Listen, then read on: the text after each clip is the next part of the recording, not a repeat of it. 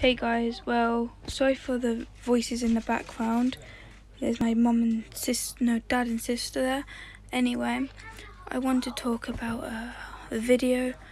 Um, so there's a video I'm doing, but I need more anime shipped kids. So like, if you like know any anime shipped kids you want me to do, just put it in the comments and I'll do it. Okie dokie. That's if the comments turned off because I can't control that.